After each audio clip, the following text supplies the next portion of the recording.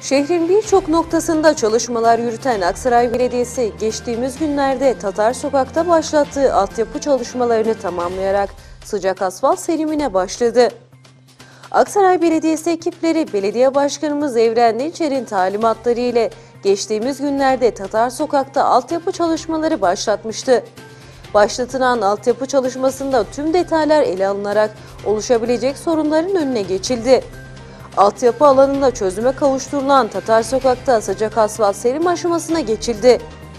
Şehrin birçok noktasında gece gündüz demeden çalışmalar yürüten Aksaray Belediyesi ekipleri çalışma yaptıkları noktalarda sorunlara kalıcı çözümler getirdiği için vatandaşlardan takdir topluyor.